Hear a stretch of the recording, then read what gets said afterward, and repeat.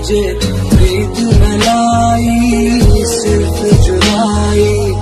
ਮੈਂ ਤੇ ਕਮਾਈ ਤੇਰੇ ਨਾਲ ਜੇ ਪ੍ਰੀਤ ਮਲਾਈ ਸਿਰਫ ਜੁਦਾਈ ਮੈਂ ਤੇ ਕਮਾਈ ਆ ਮੈਨੂੰ ਆਪਣਾ